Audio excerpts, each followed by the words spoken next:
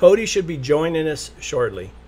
We've been Cody and I've been planning this for a long time, trying to figure out how we could both get on here and and uh, talk. So it's one of the reasons why I rented this new office, and then uh, so I could have a faster internet connection, so I could do this sort of thing, and then uh, him and I have some really in-depth conversations about dogs, pot lickers, running dogs, hunting lions, hunting uh, bobcats, the differences between where he hunts and where I hunt, and uh, so yeah, so we thought, man, we need to we need to get together and just record this live one of these time. Oh, he just sent me a text that he's late. Leave it to a South Texas bobcat hunter to be late. Let me know if you guys like for us to do this kind of thing or like for me to do this kind of thing. There's a there's a lot of guys, younger guys that I could get to do the live streams with me probably. Uh, the older lion hunter guys, you know, it's all I can do to get them to just let me sit down and interview them, you know, either on video or uh, just the audio for the for the podcast. For those that don't know, I, I provide content for the W Supply podcast. And right now I've been real busy working. So what I did is I purchased the digital rights to the Dale E CDs from Dale's nephew. And then I uh, I gave them to W Supply to, to, to make them into a podcast. And uh, I got I got one sponsor, Value Pack Dog Food. Uh, they came came through and sponsored the podcast, and and you know even before any of that had happened, I'd kind of had a run in with one of the big dog food companies, and uh, Value Pack had contacted me. Not only that, but Otis Llewellyn, a really good houndsman, he had contacted me and, and, and told me, he said, Man, you need to feed the Value Pack. It's good dog food. So now I've been feeding it for a little over a month and uh, I do. I like it, and they sponsor the the podcast, so that's really cool. So if you guys have a value pack dealer in your area, and you, you know, I, like I said in in the podcast, I think we need to support the companies that support what we do. There we go. Here's Cody coming on. There he hey. is. You're late, man. I know. I know. I, I uh, something, something happened to the internet. internet. And my, my hair. hair. Man, if I worried about the way my hair looked, I would never get on camera. yeah, that's, right. anyway, this Cody King, him and I started talking a long time ago. And uh, he hunts bobcats, has running walkers, uh, as far as I can tell, as good as they come. And uh, we discuss we always discussing the differences between the hounds and the locations and everything but so now cody let us know how'd you get started? What's your story? Well it uh it's not, not a very, very interesting, interesting story, story, but i uh, my, my dad, dad hunted hogs when he was younger and he uh let me see. I got a problem with your. Uh, someone said we're echoing. Let me see what I can do. So where were we? Where did Cody come from? How did Cody get started? That way, that way everybody won't be here for the boring part. Uh, no, my dad. My dad hunted hogs uh, when he was younger, and when I was probably five or six years old, uh, he he started back to hog hunting with me and my and my brother, and uh, we hunted hogs for forever. But uh, uh, but no, I just started out hog hunting, and uh, you know when I was probably 22, 23 years old, I, I wanted to kill a mountain lion, and uh, I went and that's how I met Reuben Lossman. My brother was a game warden there in Alice, and uh, he took me and introduced me to Reuben and Reuben said, if, if you want to go hunting, we won't catch a mountain lion, but I'll take you bobcat hunting. Be here at four o'clock tomorrow morning. I was there waiting on him. Uh, we went hunting, caught a caught a bobcat, and and I came home with two dogs. And that's that's how I got started cat hunting. Well, well, when you you and your dad were hog hunting, what what kind of dogs did you use doing that? Pretty much strictly blackmouth curs. uh, we had a few leopard dogs. Uh, never had, we never had very good luck with leopard dogs. It just, I'm sure there's great ones out there. We just never had one. We had all black mouths. You, did we they had, catch? Did they catch or just bay? No, they caught. We had catch dogs too, but them cur dogs they they bay up a little bit on a big hog, but once them once them bulldogs caught, them them cur dogs would catch too. And then we kind of phased out of catch dogs because the cur dogs caught so well. And uh, but we hog hunted a we hog hunted a lot. We caught a lot of them, and that was you know I live in as far south in Texas as you can go in a place called the Rio Grande Valley, and I mean I was 20 years old before I knew other people hog hunted, and there's just there wasn't many hunters down here, so it. Uh, but we we we caught a bunch of them. Hunted mostly grain fields, you know, summertime hunting, but we hunted the brush a little bit too. So what? Why did what made you want to catch a, a lion? How did how did that? You see a picture or something somewhere, or somebody talk to you about yeah, it? just seeing you know seeing pictures of them and videos of them on TV and and uh, I wanted to catch one, and I went and met Ruben, and Ruben actually, uh, Ruben actually had a trainer lying in the pen, and he, you know, when when I went to see him, and and uh, he said, if you want to, if you want to catch one, it'd be a lot. To train some dogs up and catch it yourself, and he I got the short end of that stick. It was it'd been a lot easier just to pay somebody to take me and be done with it. But it, uh, but that's I just fascinated. I've always been fascinated with cats. There was an old man that cat hunted down here. His name was Norman Davidson, and I was I was really good friends with him. I, I knew him my whole life, and uh, you know I, I I knew it was hard. You know I you know when you're young and stupid you just you want to do something because everybody says it's hard and uh, but it took a took a long time to be able to catch cats consistently by myself though. Those two dogs that you got from Ruben were they were they finished dogs or? No. One of them was one of them was a probably a 15 month old dog named Goober and one of them was a three month old pup named Bruno. And uh, you know, nowhere nowhere near finished. But you know, when I came home with him, I started hunting with Ruben, and and uh, I hunted at least two days a week with Ruben, probably for five, six, seven years. So he let you and, run run those young dogs with his dogs. Correct. Yeah, Ruben's Ruben trained me, and Ruben's dogs trained my dogs, and we had a we had a lot of fun. So, how long was it before you caught a cat without Ruben?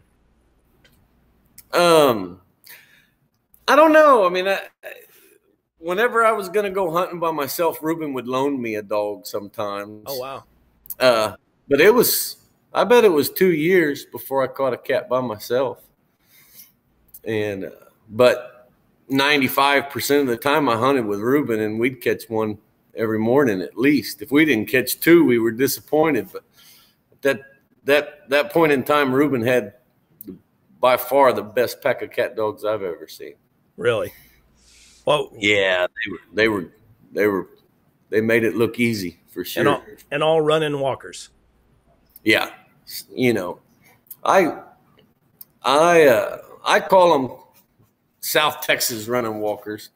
Um, you know, nobody has any papers on them, and I, I I'd be willing to bet that a lot of them had some pot licker mixed in them 50 years ago, you know, but uh, for the most part, they're what you would consider a running walker. Did, yes, sir. Did they did they line breed them, or did they just breed best to best, or or I mean, did they breed outside of their? I mean, if they seen a good dog somewhere, would they take and go breed to it, or or just bred out of their own? Yeah. when you uh, when you see uh, when you listen to a lot of the stories you know when you start looking into the bloodlines of these old dogs and stuff and it's it's you know uh, for example uh, you know Ruben I got a dog named Jade, and you know she was out of Ruben's Ruger dog, who was out of Doc, and and uh, but Doc was out of Robbie Hertz's good dog Yeller. You know they're always they Real just close. it seemed to me that they all talked and and they pretty much tried to breed best to best.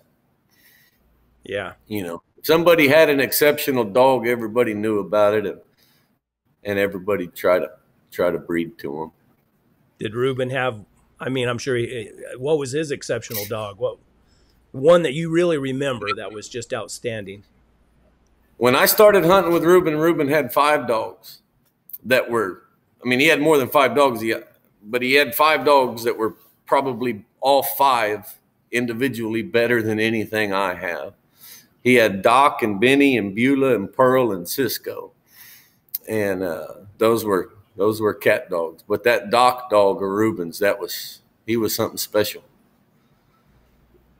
Just well, I know you've talked. I mean, you talk about jump dogs and and I mean, when you talk about one like that, is it just one that does it all? Yeah, yeah. I mean, he was one of those dogs.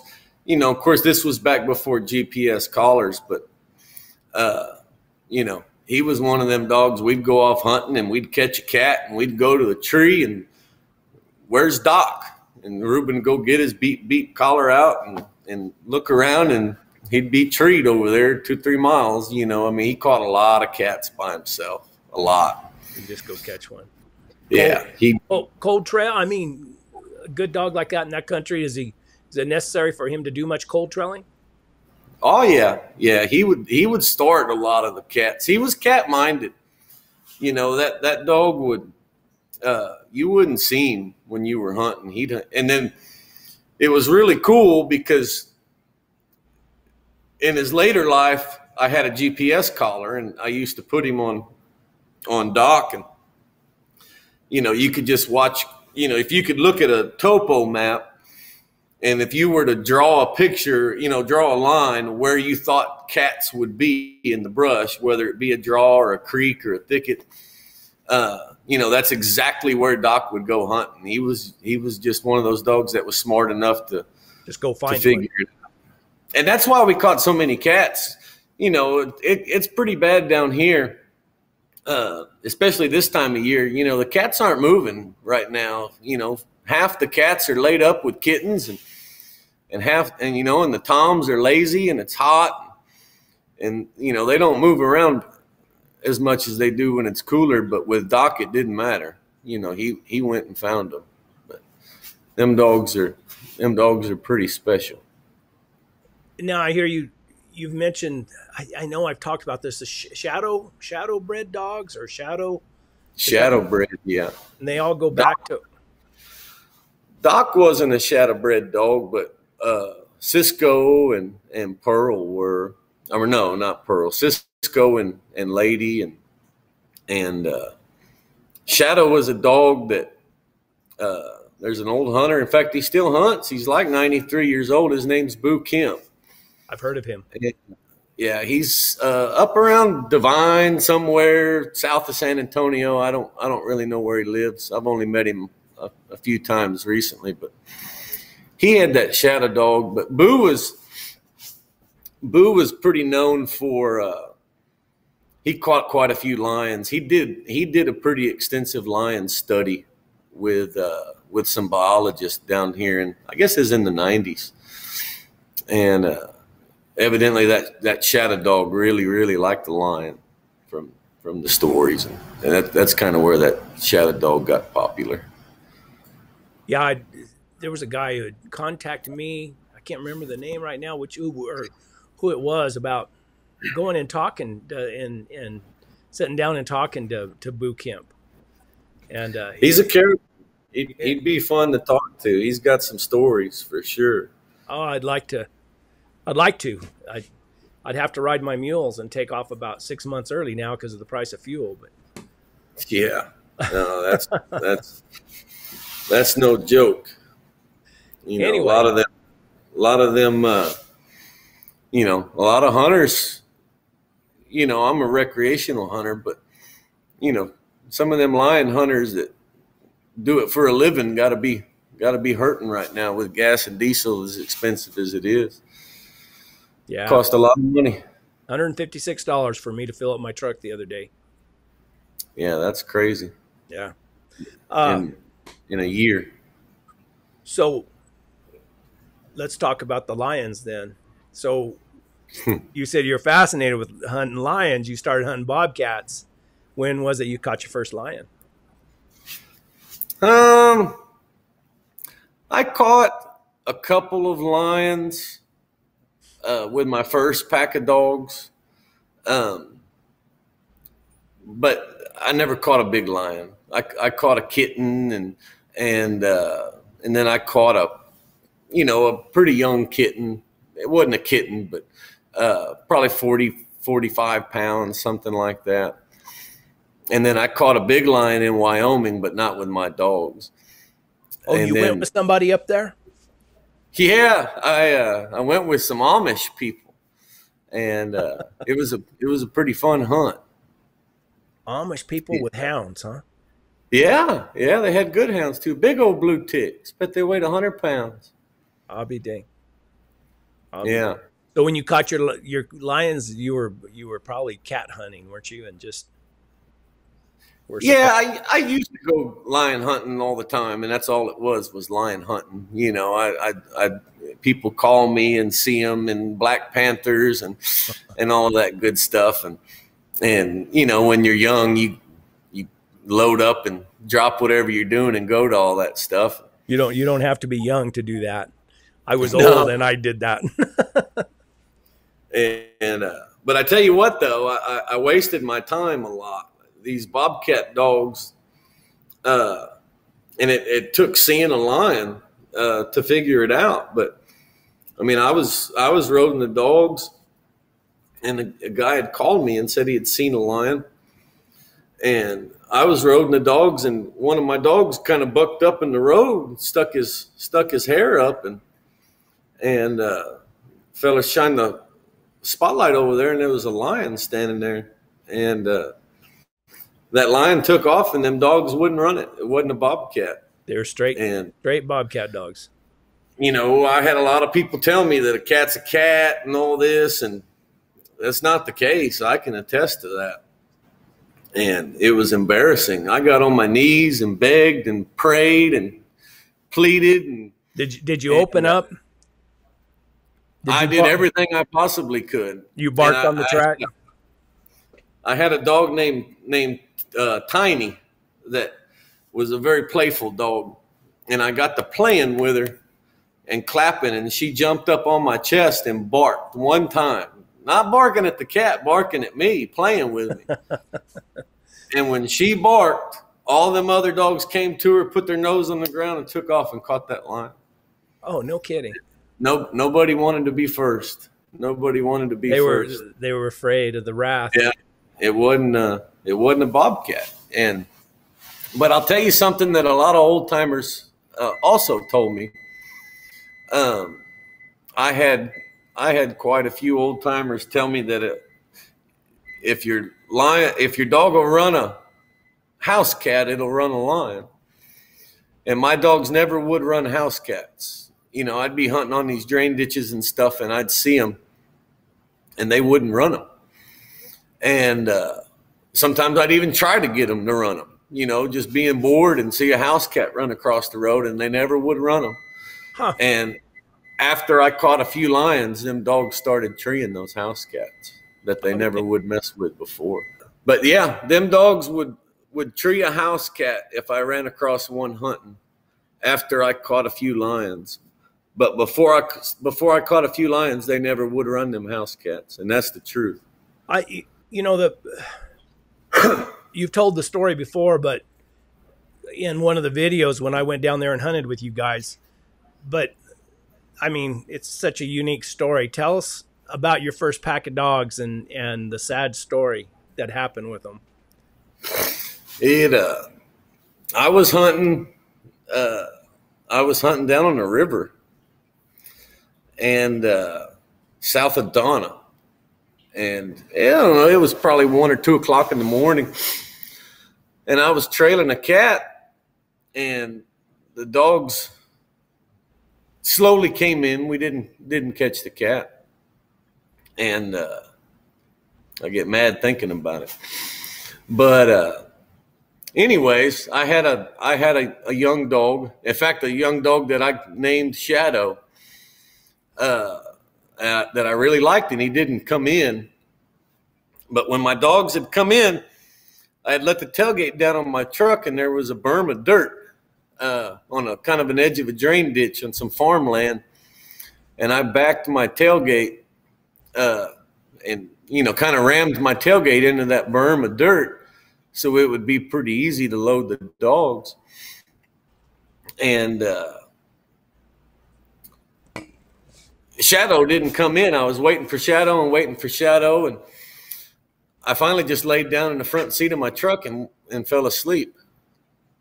And about 5:30 in the morning, I heard Shadow barking, and I, I got up and I, I got out of my truck. And some of this I learned later, but there was a pump down on the river that they irrigated with, and there was an electric line that serviced that pump, and that line was down and when that shadow dog was running, he he ran into that power line that was down, and it you know killed him instantly. And when that power line broke, it burned in two. When he hit it, it it fell, and that everywhere that line would hit the ground, it would blow up, make sparks like you never imagined and big loud bangs and but it did it in sequence. You know it would hit the ground and burn in two and then it would hit the ground and burn in two and it, from from where that shadow dog was it just went boom boom boom boom boom and that line landed right on top of my truck and electrocuted every dog in it.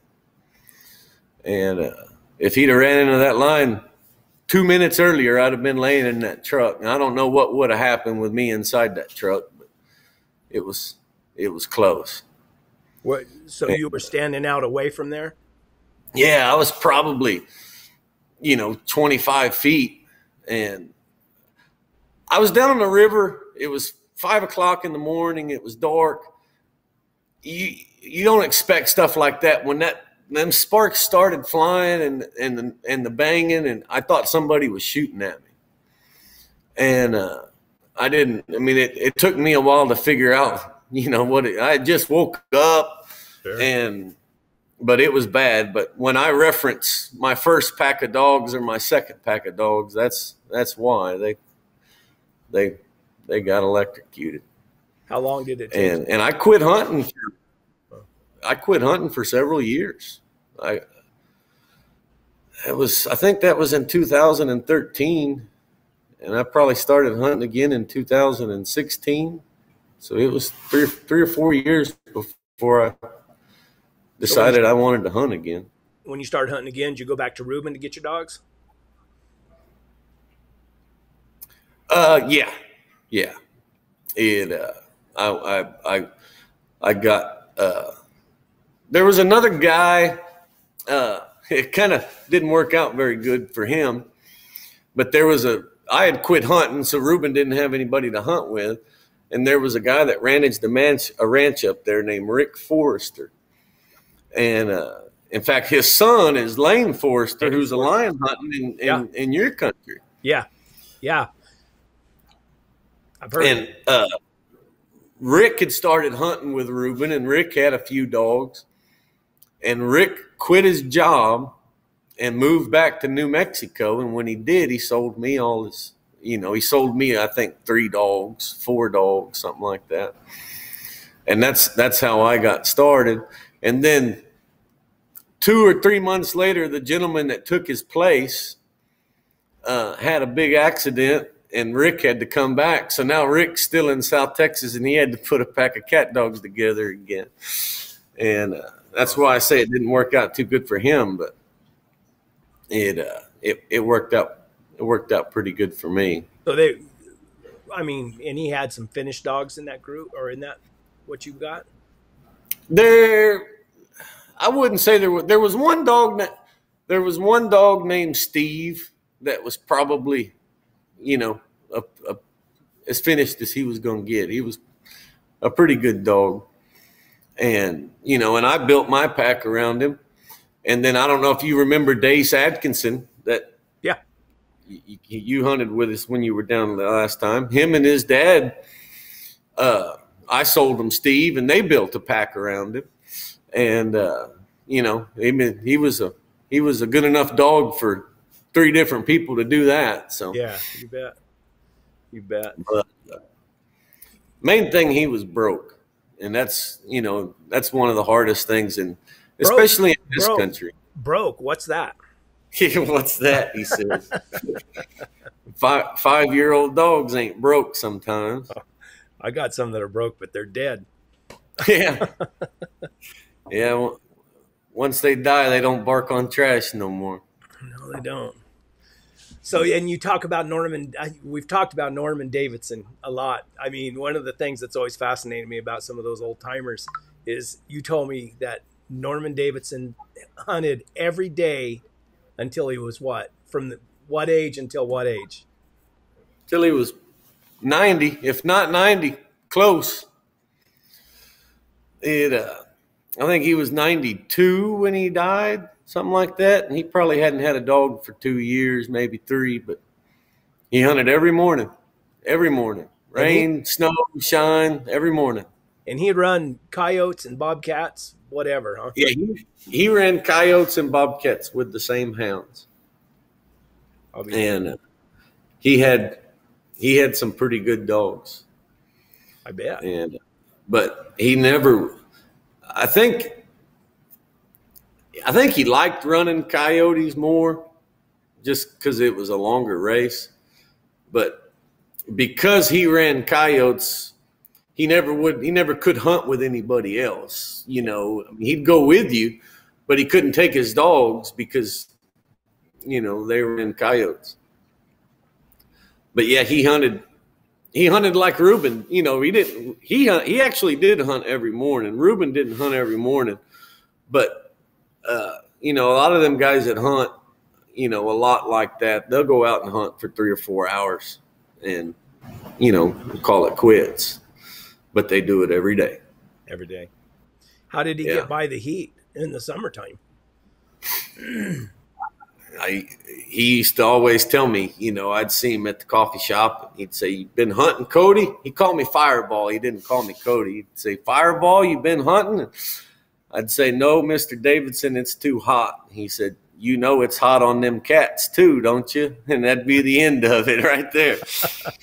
but he'd tell me that a million times. You know, heat ain't an excuse. It's just as hot on those on the cats as it is the dogs, is what he'd always say.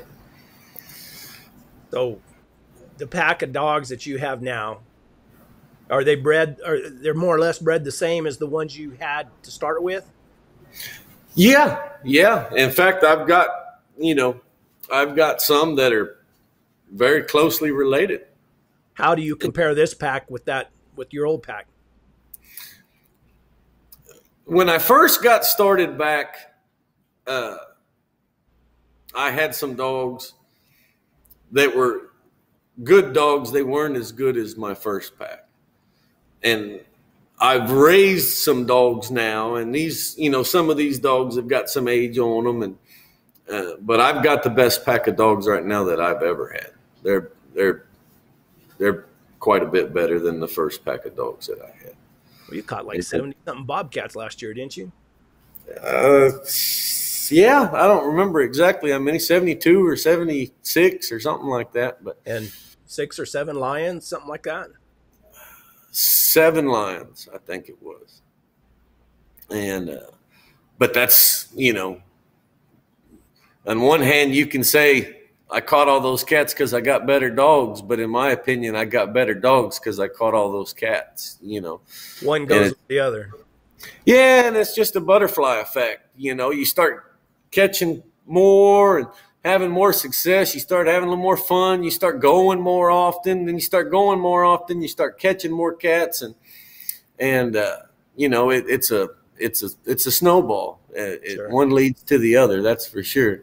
I mean, if if you were to take the greatest hunters in South Texas and line them up from best to worst, I bet the number of hours in the woods would directly correlate with with, oh, with that yeah. number as well. Oh yeah, they, the guys who hunt the most have the best dogs. I mean, that's it's just the the way it is. How I mean, typically, if you want to go catch a bobcat, I mean, if you're going to go bobcat hunting, how far do you have to drive? I could turn them loose in my driveway. I mean, I, I, I, I mean, I could not drive at all. I mean, I've caught cats here, and that's you know that's one benefit that I have. You know, there's hunters like Joe Bob James and Rick James and and and Royce Blosky. I talked to Royce today.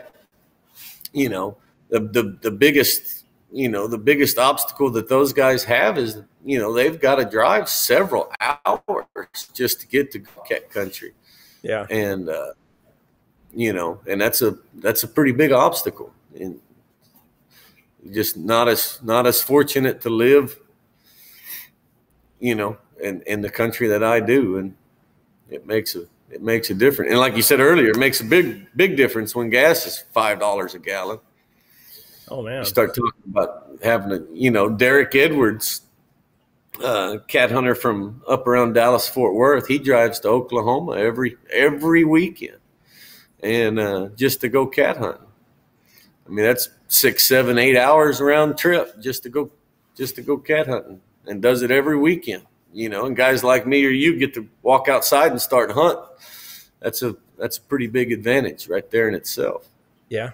Well, I mean, when I lived up on the mountain, I mean, I treed lions and a lot of bears within a half a mile of my camp right there.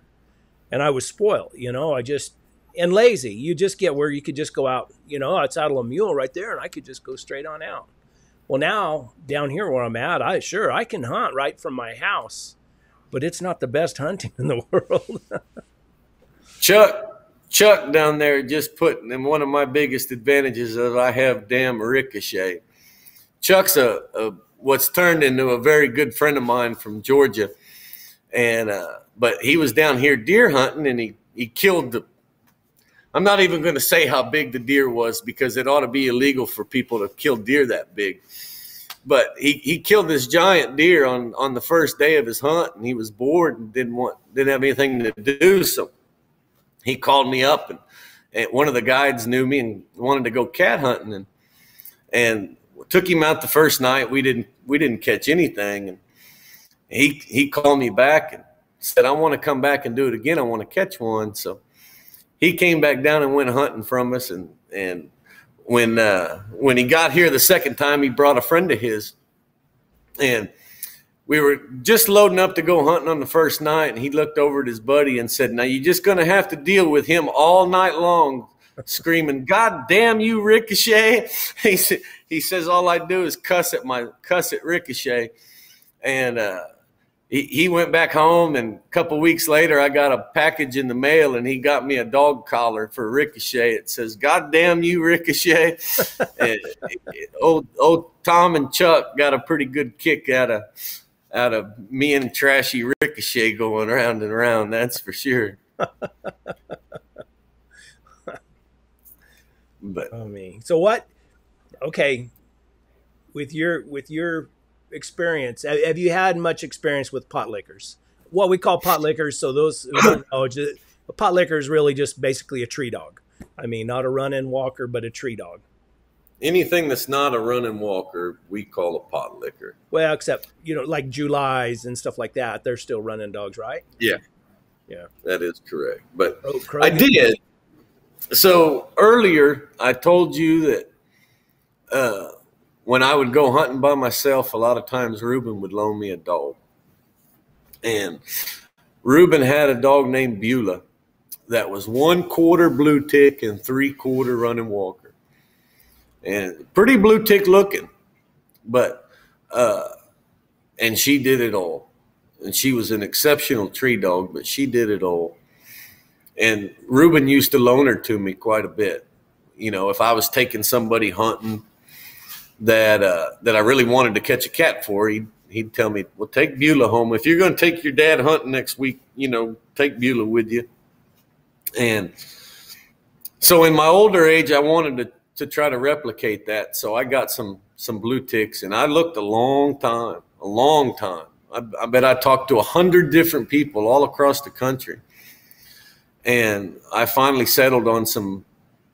I finally settled on some blue ticks uh, out of Colorado. Come from a guy named Scott Young with uh, Rocky Mountain blue ticks, and uh, I I bought a pair of them, and they were three months old when I bought them, and I raised them till they were a year and a half, maybe two years old before I decided they were good enough to to breed to. You know that I liked them enough. So I have had you know a little bit of experience, and then you loaned me Dan. Uh, I had Dan the man, your dog, down here till I got him killed by uh, javelins, but. Uh, but other than that, that's that's about the extent of it. The, the blue ticks that you had, what I mean, what kind of differences did you see between them and your running walkers? Not much, not much, and uh, they were mouthier. Yeah. You know, they they barked too much, and uh, even even Dan, and I liked Dan. I liked Dan a lot uh, but we would hit cold trails that were uncatchable, uh, or, you know, basically uncatchable. And, you know, my dogs couldn't even bark on it. They would just barely wiggle and barely wiggle. And, but Dan would bark on it. And those blue ticks were the same way. You know, they, they, now they had some things in them that I didn't like. Uh, you know, them them blue ticks like barking going to a dog. You know, if they were in pretty thick, especially in thick brush, you know, the dogs would have trouble getting through that thick brush, and it would frustrate them. They'd want to get there so bad, so they'd bark going to another dog, and I really, I really don't like that. And uh, you know, but uh, but I mean, they are colder nose. There's there's no doubt about that, but you know, I just I, I really think that there's not a need for that colder nose. Uh, not you know, not when you have bobcats right out your back door. That's exactly right. You know, we hit a cold track and the dogs can't trail it up. Ruben used to say, "Come on, honk, come on, let's go find another one." You know, and uh, you know, y'all don't have that privilege where you're from. That's a little bit different situation. If you find a lion track, you you better stick with it. You know, because it's probably the only one you're going to find.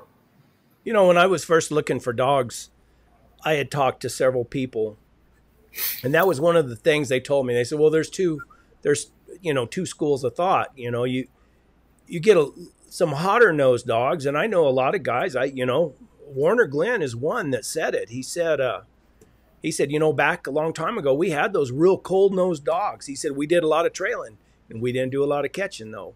And I think if you're in an area that has a real good population of, of your whatever, you know, your lions or whatever, then you probably would be better off to have a fast walking mule and some hotter nosed dogs and make bigger circles. I know in that in that thesis that Roy McBride wrote, which I haven't sent to you uh, yet, but eventually I will. we will get together eventually, but uh, you know, when he hunted West Texas desert country, you know, not as not as crappy as the country where you know they're around your house, but you know, as similar as you're going to get, I guess. And uh, um, but in his thesis, he said it lion track needed to be four to six hours old to catch it. I think, yeah. And he hunted with a lot of running dogs. You know, I think he had both. I don't know exactly what all he had, so I probably shouldn't be talking, but I know he had some running dogs.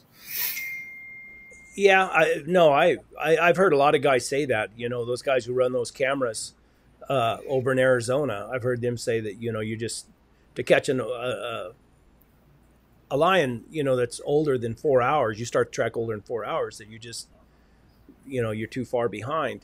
But there's so many things that can happen. I think if you're on a you know, especially if you're on a nice tom and you're trailing and you can stay out there and stay on him. Well, eventually he's gonna he's gonna lay up somewhere, or he's gonna make a kill, or he's gonna do something that's gonna allow you to catch up. Now, if you have the time to stay out there and stay after him, you know, most guys nowadays and that's what I was told. You know, when I when I first started, I asked. I said, "What's the difference between these old lion hunters and the guys we got now?" And you know, like like me, I said, "Well, those old timers, they could just stay out there. They could lay out on a track, and they would just stay after them, stay after them until they get get them caught."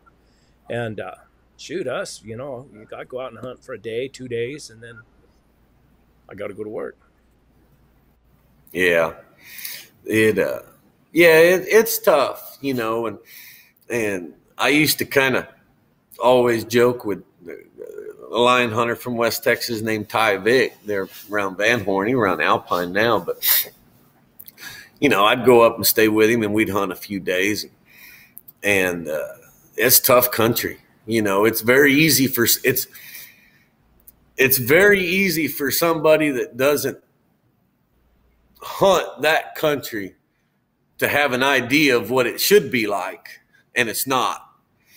And I used to go up there with hunt with Ty, and we'd go hunting and hunting and never start nothing. And and I'd say, God dang, we ought to catch one with a cur dog as many miles as we've rode, you know. But that's that's that's that's tough. That's tough country. It's it's just a different world. And if you if you don't hunt there and your dogs don't hunt there and you're you, you you're you're not going to have much success. Yeah, yeah, it's tough. I mean, I I've struggled out here in this desert for the last five or six years, you know, and uh, I've caught a couple lions, but not many, and it, it's it, it can be, I you know I say frustrating, but it, you start second guessing yourself. You start second you, guessing what you got. You caught some lions just the other day. I caught one lion three times. One lion, three. Hey, lion's a lion. You're not yeah. supposed to give out those details. no, I caught one lion three times, and she was a female that was about to starve to death. I felt sorry for her, but I've been after her. Yeah. I, you know, I like to make up the story that that that's the same lion I've been trailing around for the last five or six years. You know, because that's that same range of mountains back in there, and and I knew she was staying right there. If you watch the video, I made that video, and and uh, I was going down there not every day, but I was going down there fairly, you know, often because there was there, the river wasn't running, but there was pools of water in the river, and uh, so I got to go down there and you know and run the dogs and not worry about them, you know, drying out and heat stroking. And man, we trailed her up in some bluffs. I don't know, three, four times, something like that, and we'd get up there and run out of, you know, run out of cool weather, it'd get hot, and the dogs would start shading up, and and you get in those bluffs. It's just tough, you know. And and finally, one evening I was down there. I just took the dogs down there, kind of rode them down the river, and I found her track, and she was going down into. She was down by the side of the river, where uh, where I knew I could catch her if I got the dogs on her. And sure enough, I got went down there early the next morning. And I treat her, and uh, then I, of course, I didn't want to waste a lion because they're kind of hard to come by. So, man, I took those dogs back and I got some more dogs when we came down there and, and we ran her and we caught her about, I don't know, about a half a mile down the river again. And, and then uh, I got to looking at her and felt sorry for her. You know, she just, she was starving is what she was. She'd killed a skunk and it had killed a bird. I found some bird feathers around there and she was starving to death. And uh, not only was she old, and we're supposed to find out how old she was, but uh, she had had some kind of accident. Her teeth were all gone out of her mouth, and uh, so I called a buddy of mine. I got, I, you know, I'm, I'm not real big on on shooting them myself, and and uh, I called a buddy of mine, Robert, and and I said, hey, why don't you, you know, if you have a lion tag, you want to go down with me tomorrow morning, and and uh, we'll see if we can catch her again. I don't think she's going to go very far. And sure enough, we we went down there and we treat her again, and he went ahead and and put her out of her misery, basically. You did her a favor. Yes, yeah, we that, did. When you sent me a picture of her of her mouth open, I mean, she I don't think she could kill anything other than a bird or maybe a rat. You know, she was. It was that was a that was a good. You did her a favor. She was fixing to have a hard summer in front of her. Yeah, she wasn't going to. I don't think she was going to live another month. I just I don't Let's see if this happens. Cody, I'm going to leave this to you for a minute. Answer some uh, questions. Can you see me at all? No, I can't see you. Okay. Answer some questions. Let me look through here and see some questions. I know Manu Garcia was asking about some dogs.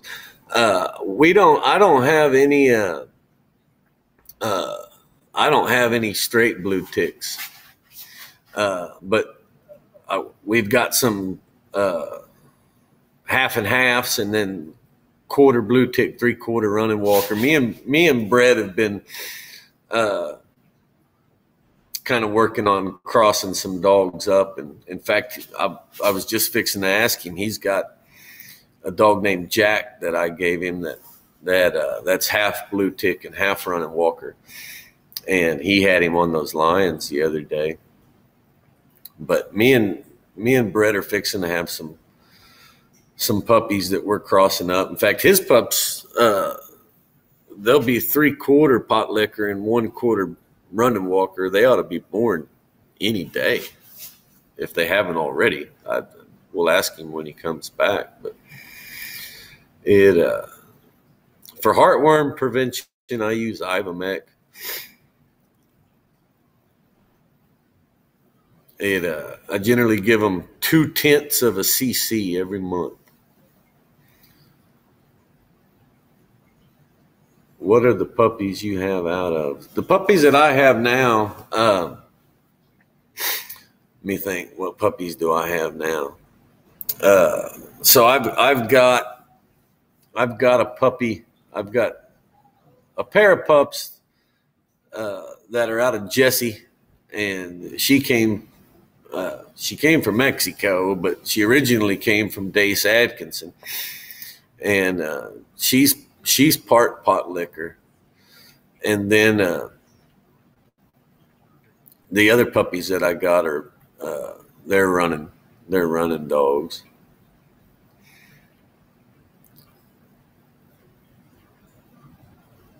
Cody, what's the difference between running and tree and walkers? Uh, you know, that's a, that's a very good question that I can't answer because I've I, I I've never been around tree and I had a tree and walker one time. They're they're they're built different. Uh, you know, a lot of a lot of the people will tell you that them running walkers don't want tree or don't want a tree and and a lot of them don't, you know, that are bred for coyote pin hunting and registered dogs with papers. But that's not a that's not a problem that we have. Uh, you know, these dogs. Uh, these dogs. Uh, sorry, I'm reading comments and losing my train of thought. But these these South Texas running dogs, they don't have no problem treeing and that's that's why I say I wouldn't be surprised if if they uh, you know had some pot licker mixed in them years and years ago. There's no telling what them old timers mixed in them dogs. Man who knows, I used just two tenths of a cc for a 50 pound dog, and uh, you got to be real careful with that Ivomec. You can burn their kidneys up.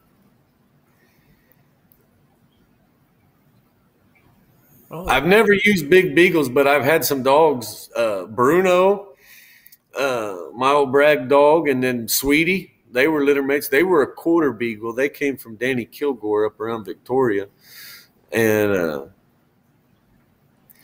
um, you know they they they were quarter beagles, but I've never used any any whole beagles. I mean, you definitely could, and you you could probably catch some cats with a pack of beagles. It may take a little longer, but uh, it, Cleve and Becky Dwyer, they're crossing beagles into their lion hounds. Yeah, I mean, I was just saying, I mean, one of the best pair of dogs I've ever owned were were quarter beagle. Really? Yeah. When you watch, I mean, when I watch them, you know, when they're running those rabbits, man, they have a really neat track style. I mean, and they're they get after it. Yeah, it's, it, I I tell you, it looks fun too. You know, yeah, I never watched videos of it, and they they got good mouths. Yes, they they got real good mouths, and uh, they're they're they're fun to listen to. I've always wanted to to listen to a pack of rabbit dogs. I just I never have. There used to be a, a friend of mine that that oh, he, I say a friend of mine. He was an internet acquaintance, and he used to make some YouTube videos, and they would have those roads or whatever they call them, those big rows up there. And man, you could hear those little dogs just bawling and working. Then you could watch the the on the video, you could see the rabbit come out and go across the the road. And then here come those little dogs just working in and out like that, and then want to get over there and find it. Wah! And there they went. I was it was good watching. Yeah, no, it's it's it's pretty cool. I've watched quite a few videos on them, and uh, it, it like I said, I, I I bet you could I bet you could uh, could catch some bobcats with some beagles if you just had beagles. Yeah. Ralph Donahoe uh, out in Kent, Texas, he had a few beagles, little bitty old beagles. Them little things didn't bet they weren't 13, 14, 15 inches tall. And uh, he, they they they catch all he let he let them run loose and he'd catch all kinds of stuff with them. That's who I got my first set of dogs from. Well, I say my first set. I bought both. Oh yeah, that's right. You got some dogs from Ralph Donahoe. In fact, I knew those dogs a little bit when you got them. I had hunted with them, uh, or you know, seen them a little bit because of Ty. Ty Vick and Ralph Donahoe were pretty good buddies. Yeah, that uh, David Heiss is the one. I I had a, a four wheeler that I owned a, and I sold it, and I had a bunch of cash in my pocket. And David told me, he said, "Man, said this guy's he was having his knees operated on, I guess, and he couldn't hunt anymore." And uh, and I don't know if he was leaving that ranch or not, but I went down there and bought Bo and Susie and Blackie and Trip and Solo. And it was a it was a wreck after that. And that was Texas Bo, right? Colorado Bo, I believe. Big white dog. Colorado Bo. Yeah, Colorado. There was two of them Bo dogs. Yeah, there was there was uh and I think this was Colorado Bo, and and uh he was he went back to Van Johnson's old blue dog. He was out of dog out of a dog named Sob or SOB or whatever you want to call it, which stood for Son of Blue. And, uh, you know, it's kind of a strange story. I was talking to Van Johnson the other day, and, and see, Solo was out of Bo and Susie. And I always attributed Solo's uh, cold nose and his ability to trail to Susie because Susie was a really, really good cold trailing dog. You know, she was it was terrible tree dog, but she was good good trail dog. And so I was talking to Van Johnson and and, and Lily was a cross between Solo. I crossed Solo to Lily, and I produced a bunch of these hounds that these guys, you know, went out and caught a lot of lions with. And anyway, Lily was out of a dog named Repeat. And they all go back to that old blue dog of Van Johnson's. And come to find out, Van Johnson told me that that old blue dog either him or that blue dog's daddy, I think it was him, came from from uh, down in southern Arizona, which was huh. kind, of, kind of strange story, you know. Yeah, you start you start getting hounds, and the world gets a little smaller. Uh, you know, you'd be, be surprised. You know how many. You know, you'd go hunting with Ty Vick, and he'd talk about. Yeah you know, he'd he'd talk about hunting with Henry McIntyre and his flag dog, and it came from Henry Viatric. And then you go to looking, and you're like, oh, well, that's that dog's, you know, parents were litter mates or something. You know, it's a, the South Texas Bobcat hounds is a pretty small world. Well, Flag and Easy, they were brothers and full, and they were running walkers. And then Newt was a pot licker, and that those were Henry's dogs. Yeah. he yeah. caught a lot of lions, didn't he? Yeah, he he caught a he caught a bunch of them. I think he caught like 349 lions, I believe it was. And did you ever talk to him about running walkers and pot lickers? No. Uh, me and Ty, Ty took me by there. Ty hunted with him and uh, Ty took me by there to visit with him one day when we were coming back from hunting, and we just we stopped by his place there just to BS. He was in he was in pretty rough shape by the by the time I met him. Yeah, last and, time I seen him, he wasn't he wasn't in real good shape. Yeah, he uh, yeah he was in he was in pretty bad shape. But I did talk to him for a little bit. I, I, you know, he I, think it was 349. I hope I'm not wrong on that, but he, I think I asked him how many lions he caught, and he, you know, you couldn't understand him when he was talking, but he said 349, and uh, Ty kind of looked down at him and said, "I bet you'd sure like to catch 350, wouldn't you, Henry?" And he said, "Yep." And that old man on his deathbed look up and say, well, yeah, when I get healed up, I'm gonna catch him. 350. I'm gonna catch him. You know, there wasn't no I'm done to him. He's when he when he healed up, when his legs healed up, he was gonna go hunt. And uh, you know, he he he did it till the end. And say he was another one of those that probably hunted most every day. Yeah. Yeah, he was he was a tough old man. So let's talk about that uh what's the Mexican man down in Mexico that that's that's caught lots of lions and has been hunting for a long time. Luis Chapa. And he's on a big ranch down there. Or? No, he's he's all over down there. I mean, he's a he's he's a lion hunter. That's what he does for a living. He, uh, you know, he he he travels. He travels all over, you know, hunting predator predator uh, uh, nuisance lions. Okay predation lines. And let's and, tell, let's tell the story about about your cross, the blue tick with the running walker. So I crossed once those blue ticks. I was June and July a pair of a, a pair of dogs that I got from Colorado, and and uh, they both got killed by rattlesnakes. But uh, I crossed June to my ricochet dog and got some half blue tick, half running Walker pups. And I, I was trying to replicate that Beulah dog of Ruben, so I didn't, I didn't want any half bred pups.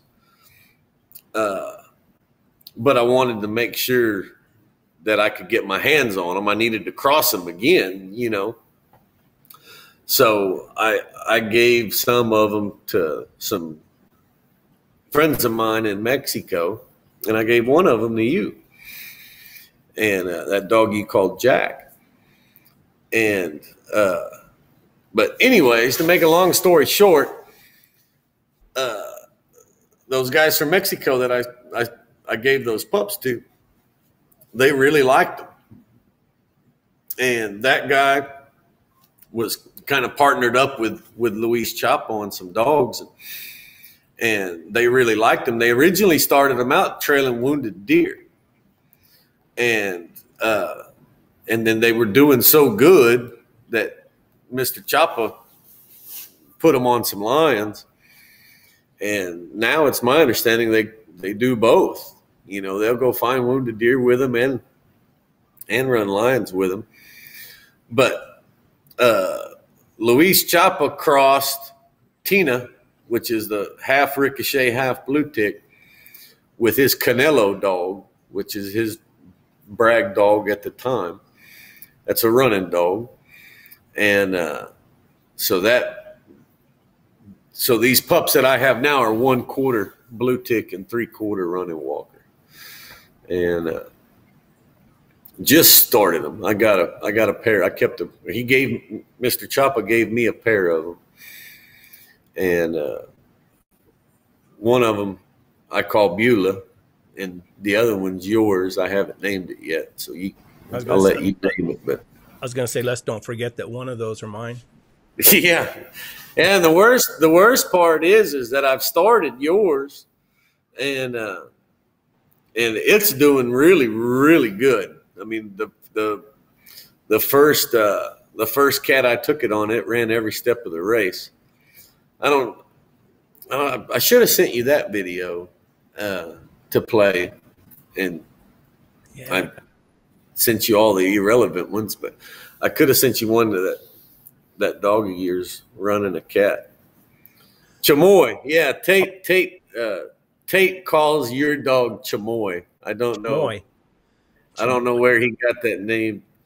So Tate Scott's in the in the comment section here. He's a he's a young kid that's 21, 22 years old and he's been hunting with me pretty much my hunting partner since he was 15, 16 years old. And uh, he he he spends a lot of time with the dogs and and you know, one of the few people that I mean, he comes to my house and picks the dogs up and takes them hunting. You know, he's Okay. been with me a lot. He knows what he's doing and and uh, uh, but I forgot he he dubbed your dog Chamoy. So Chamoy. Chamoy. I don't know. It's I- a Mexican candy, is what it is. It's a candy? It's a Mexican candy, yeah. Well, But I don't believe in changing a dog's name. there ain't nobody called her that but Tate. So that dog and Tate are both about on the same mental level. So you take that for what it's worth. I'm sure he I- appreciates hearing that. I, I give him I give him a lot of hell, but me uh he's he's me and Tate spent a lot of hours hunting together. We load up, and go to Mexico, and he's he's caught several lions with me, and and uh, we've we've we spent a lot of time hunting. We caught a lot of cats. Tell, tell me a couple stories about your lion hunting. Now, how the lions that you've caught, have you been able to do a lot of cold trailing with them?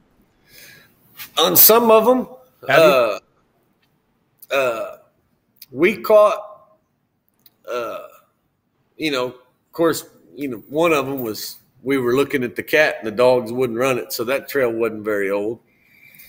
And uh, but I've been cold trailing some recently. In fact, I trailed the line, you know, just the other day for a pretty long time Did you? and you know and that's one thing is is i've caught more cats uh my dogs are you know they're they're they they cold trail them more you know than they used to. And i think it's just they've finally gotten comfortable enough with them that uh you know they really like them. And you know when you catch a lion and you're excited and especially down here uh, you know, never caught a lion or, or you haven't caught one in years and Tate never caught a lion and we catch one, we, you know, we shoot it and, and, uh, these ranchers want them dead. That's the only Sure. reason they even let us hunt them. You know, they, they called us because they have a problem. And, uh, you know, then after you catch a few, then you tree them, and then you jump them out instead of shooting them. You know, let them dogs run them again, and and it, it's it starts making them a little more uh, lion minded. And I hunted a lot with with Clinto Brown, who's a, a a cat hunter from Southwest Texas, I guess, and phenomenal dogs. One of the best hunters that there's left. You know, with a lot of the old timers that have passed away and and or or retired hunting. Uh, you know, Clinto's definitely one of the best, and that and that goes back to hours in the woods. He don't do nothing but hunt, and it you know, and hunting with him a bunch. His dogs really helped mine get, you know, where they'd like a lion, and and uh, but we caught a we caught one lion one day that was probably 50 pounds. You know, young lion and a tom. And we jumped it out of the tree. I sent you a video that lion jumping out of that tree. Was that that that lion. And the lion jumped out of the, tree on its on its own. And when we were walking up there, and it, they ran it for another few minutes and it treed again. And this time when it treed again we looked over and there was another lion in the tree. The dogs were treeing one and there was a second lion in the tree and they were litter mates. And uh, you know and the owner of the ranch was there and they you know they wanted them lions dead. They were killing some pinned deer and uh, the, the owner shot the shot the lion, and you know we hip hop hooray and high fived and pretty excited, and we left. We went to another ranch to go hunting, and hell, that evening we kind of all looked at each other and said, "Man, that female's got to be around there somewhere." You know, those kittens still with their mama, and we went all the way back, and that lion we cold trailed it a pretty good ways. They trailed on it and trailed on it and trailed on it, and and uh, you know they they cold trailed that one for a, for a long ways. So a lot of them that I, a lot of them I had caught, they didn't cold trail very long, but they did that one. So do you think? do you think now that you've caught some lions, your dogs will leave a cold track on a lion to to run a hot bobcat?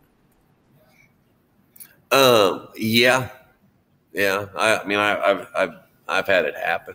Have you? I've had it happen. Yeah. It. uh You know, they they were, and I know they were cold treading the line because I found the track. You know, but it was cold, cold, cold, and uh, you know, just barely hitting it, and, and that's you know that's that's one of the problems down here. You know, there's a thousand bobcats for every lion, and, and uh, it's it's hard to go. You know, I tell people all the time, I just go uh, just go bobcat hunting, and if you catch a lion, you catch a lion. That's pretty much all you can do.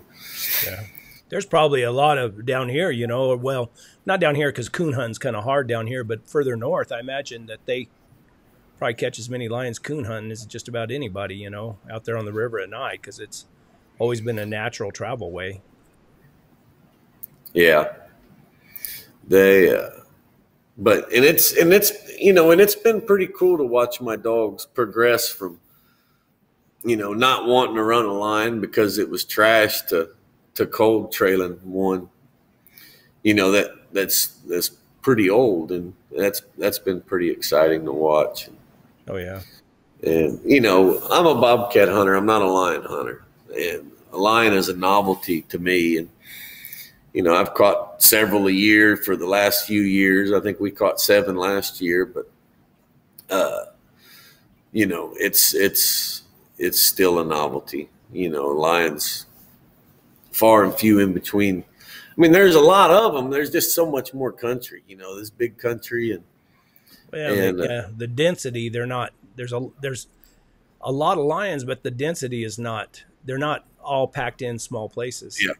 Yeah, and I got the, you know when it comes to lion hunting, I got the same problem we talked about earlier. I mean, I got to drive at least three hours to go where there's consistently going to be a lion. They, uh, yeah, I mean, you know, a lot of lion hunters here are well, most of them that that especially the ones who outfit or guide, you know, they'll they'll break their dogs off of bobcats because you just have such a hard time catching a bobcat in this country and then you'll end up messing around. You know, you might cross, you know, three or four bobcat tracks. Time you get to a lion track, and then you spend all day messing around in a rock pile somewhere looking for them, and and you never yeah. get to that lion track.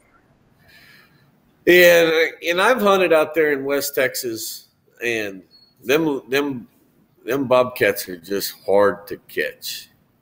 I mean, I've taken some pretty pretty damn good bobcat dogs out there it, it, it's it's you know they can be caught in perfect conditions, but I mean it's it's pretty tough. I mean oh, yeah. I don't I don't think you'd have much success at, at at being a bobcat hunter in West Texas and desert New Mexico. And if you are, you're going to have a lot better dogs than I do.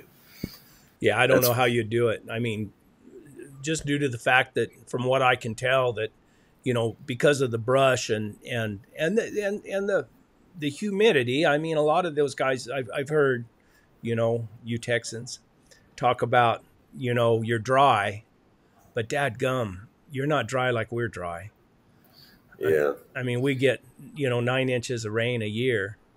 And uh, it, we, we've been, we've been dry, you know, I mean, and, and, you know, especially some of that country I hunt in Mexico. I mean, they've had, Mean, with it, we finally had some rain the other day, but I mean, they had like two or three inches for the last three years. I mean, really, sixty percent of the mesquite brush died, but that's not the norm. You're always that dry, you know.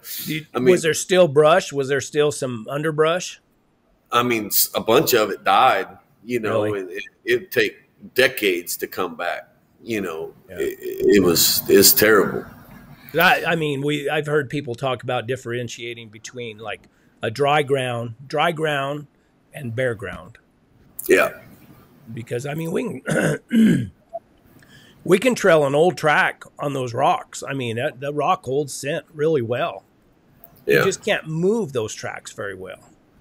It, it you know, those dogs they don't have any way to pick their head up and go.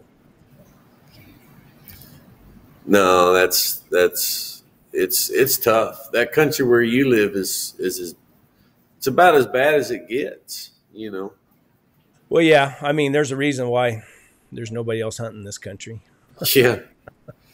It, uh, some of this country, uh, you know, it's bad, bad drive, but at least we know that's not normal, and it's eventually someday it'll it'll change. Well, I remember when I, of course, I don't know what time, I can't remember what time of year it was, but we, uh, when I slept out there, when I camped out there by Rubens, and, uh, man, I woke up the next morning, everything I had was soaking wet. I mean, just soaking wet. It, it was like it here, like it had rained two inches, but it was just dew, you know, just, Yeah, just, just dew. I don't want to hit it, but everything, everything is soaking wet. I mean, the amount of dew that comes in is unbelievable. And they say it's dry now. They say, oh, yeah, it's so dry. But I mean, everything I have.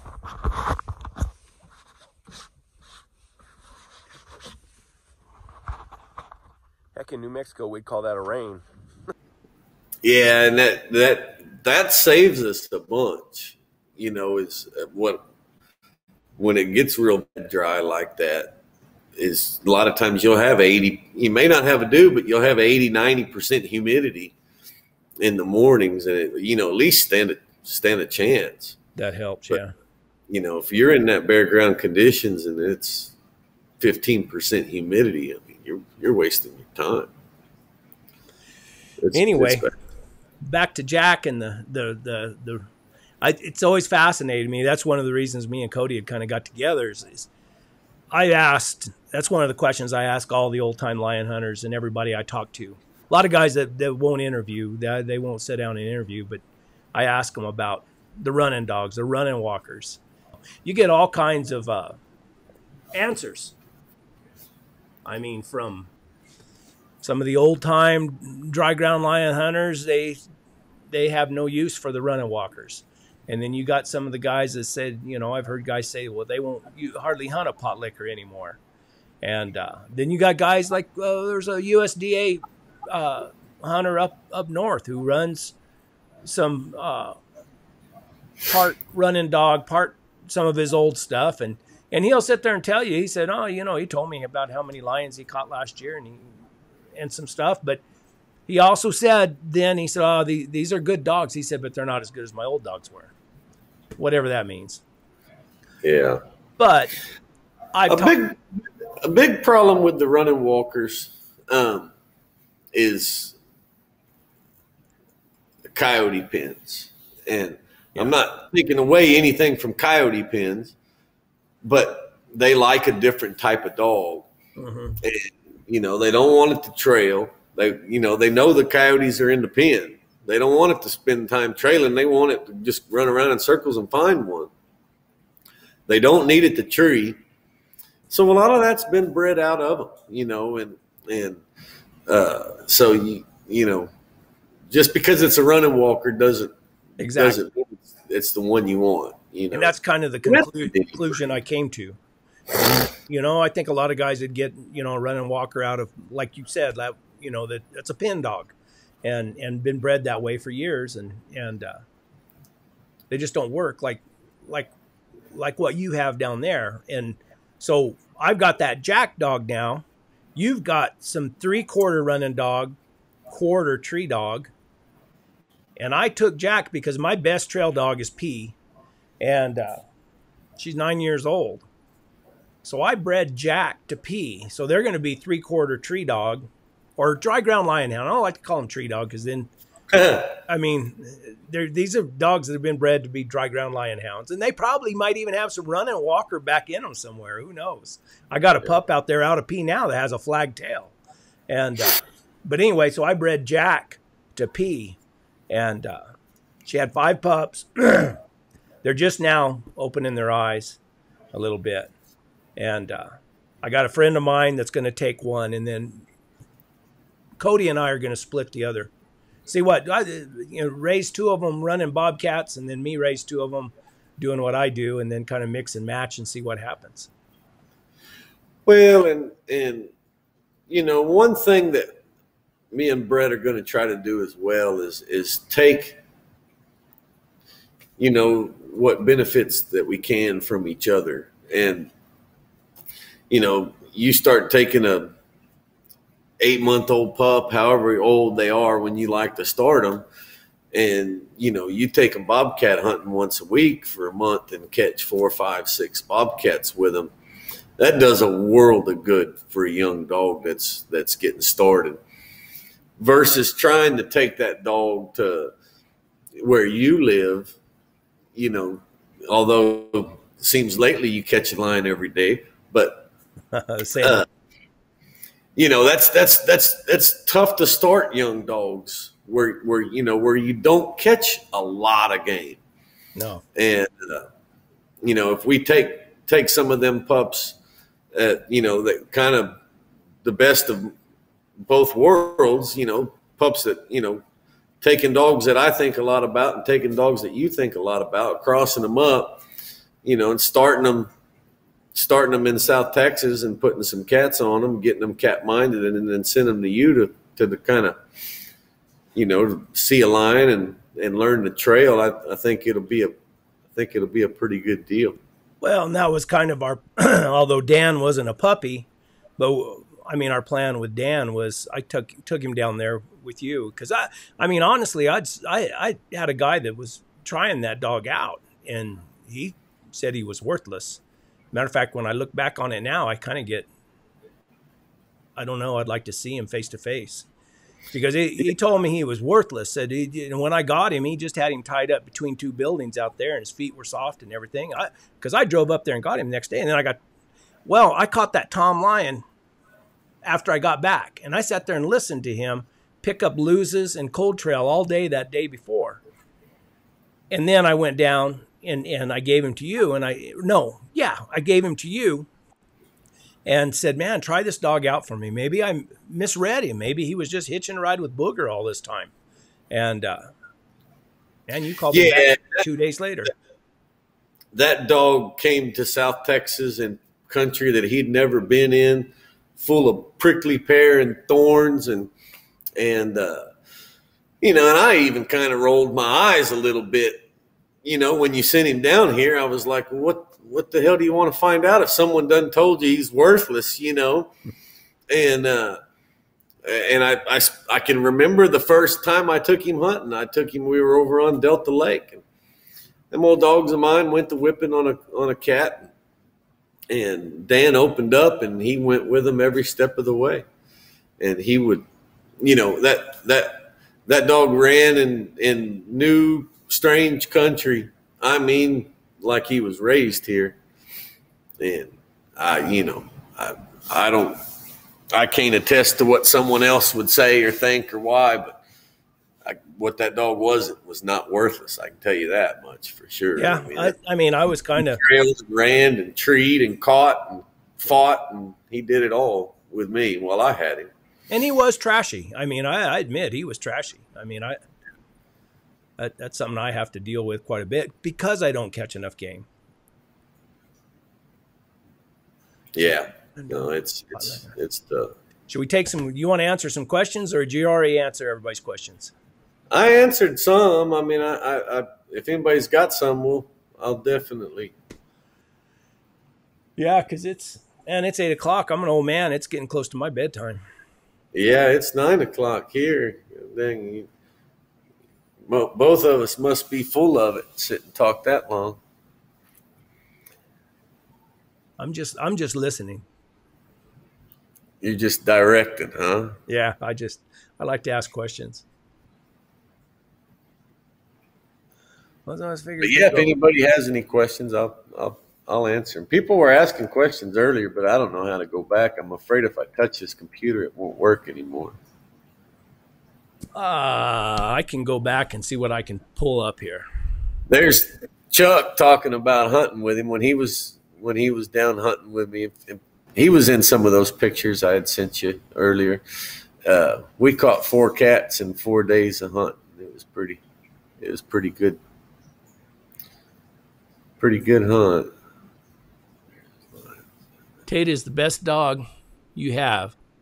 the trashy. Yeah, Chuck and Chuck and Tom said they were going to get me a, a shock collar to put around Tate because he needed one too.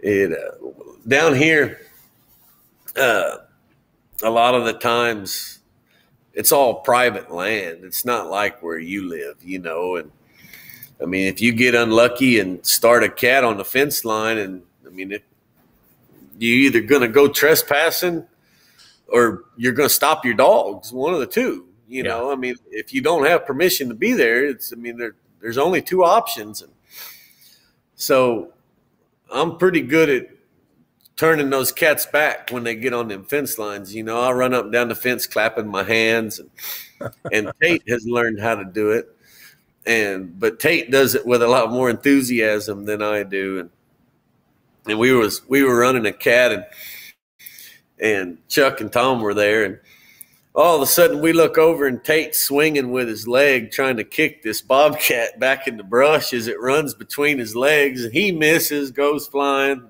Cat goes through the fence, and I told Tate, I said, "Stop the dogs! Stop the dogs!" And you know, Tate was already mad at that cat. I, there wasn't going to be no stopping the dogs, and, and uh, I I had sent the game warden a text message and asked him earlier whose place that was. You know, I kind of found out whose it was. Didn't really have permission, but I knew they wasn't going to file charges on me if they caught us in there. they let them dogs go in there, and, and uh, they didn't. I mean, they had they just about had it wore down, and and them dogs caught that cat on the ground, and uh, Tate Tate ran out there in the middle of the brush to go get it. It was pretty. It was a pretty good hunt. Where in Mexico do you hunt, Cody? Now you don't have to be exact. I hunt all over. Uh, you know, there's a lot of places in Mexico that uh, nobody has any business being there, much less a gringo. But uh, you know, Coahuila, the state of Coahuila is pretty safe. State of Nuevo Leon. A lot of it just depends on where I can get the permits to hunt and and uh, what time of year it is. But I spend I spend a you know I spend most of my time within 50 miles of the Rio Grande River, but just in Mexico. Mountain music mules. Uh, I want to do the same thing. I want to have him on one time. He he runs bears back in uh, Virginia. Is it Virginia? Virginia, South Carolina, somewhere. I don't know. Uh, you know, back and he has a YouTube channel. He makes videos and stuff, really, really good videos. He's got a video where he's riding a mule that's bucking, and his son is on the on the fence talking, and it's it's got to be one of the best videos I ever seen in my life. It's absolutely hilarious. Sit, sitting there watching his dad get his back broke and commenting on it. It's yeah. it's it's absolutely hilarious. I appreciate you fellas taking the time to do this live feed. Oh, great. Someone had, someone had asked earlier if I had any Lacy dogs. Uh, no, I I had someone when I hunted hogs with my dad. I I couple that I had, I give them away. But do a lot of guys some, use them for blood trailing? You know, uh, yeah, they use them for a lot of things, and I'm sure they make some really good dogs. You know, but I've had probably three in my life, and and I never had any luck with them. But I mean that, you know, I'm, I know that uh, Roy Hines and some of them guys had some dogs with some Lacy mixed in them for blood dogs, and they made damn good ones. And I, you know, I know people have had some hog dogs that were really good Lacy's. But we just we never messed with them much. Well, what do you think, Cody? Uh, sounds good to me. Uh, yeah, once once these pups get a little older and and start putting some some cats on them, it uh, give us a little something more to talk about. Try to take some good pictures and videos of them, and and uh, you know that that that's one thing that'll be pretty cool is watching, you know, something that you, comes along taking taking some of your dogs and my dogs and crossing them up, and and then being able to watch and see how they progress and how they do. And, yeah, uh, that'll be fun. That it's a. I mean, in a way, it's a it's, it's a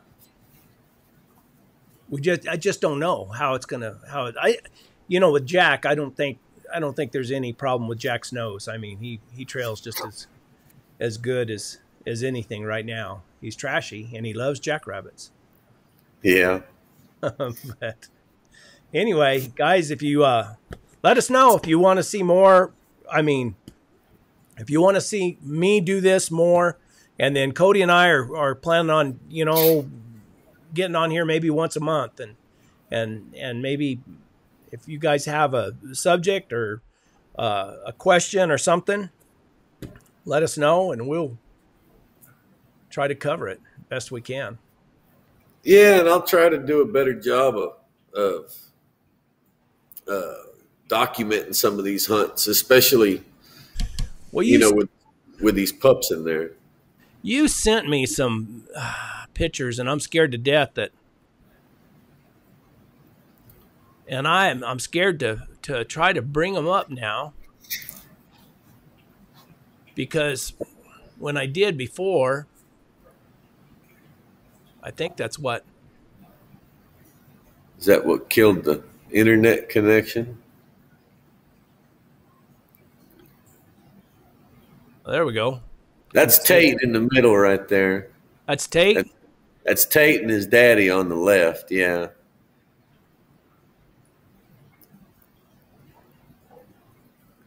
That was that was a pretty good trip. Well, I did that. That let me see if I can figure out how to do it again. I'll tell you, a big bad lion hunter. I'll tell you the true story behind that lion. They found a kill. Okay. They found a kill, and they put one of them cell phone cameras on it and uh, they said we'll take a picture of the lion when it comes back and they called me and we, and we, hunted and hunted bobcats while we were waiting for that lion to come back and that lion never came back and finally about midnight i said screw it let's just go hunting over there and, and, and in fact i think clinto was the one that said screw it let's just go hunting over there and uh, we went over there, and as we were pulling up, that camera went off. And that we opened the tailgate. That lion was 25, 30 yards from us when we dumped the tailgate and put the dogs. There's that's uh that's my wife and my oldest daughter there. It, my wife started that bobcat. They were all in a deer blind deer hunting, and my wife calls me on the phone. I just saw a bobcat. I just saw a bob. I mean, just as excited as an old dog starting with a bawl mouth. Let me tell you. and uh, it was, I think it was like 48 minutes from the time I put the dogs on the, from the time she saw it cross the road to the time I put the dogs on it. And, uh, and they, they trailed it pretty good. 48 minute old track. Let's see if this works. If we lose everybody, thanks for coming. But let's try this right here.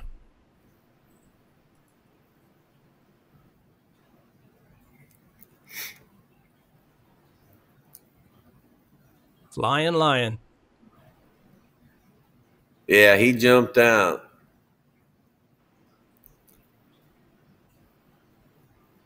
That was I a fun hunt. You know what, Cody? I tell you what, that country right there doesn't look any different than some of that desert I hunt out to the. Matter of fact, there's patches of it that looks exactly like that, and that's when I went out there and I caught that one bobcat because I thought if the conditions get right in those patches, it looks just like South Texas.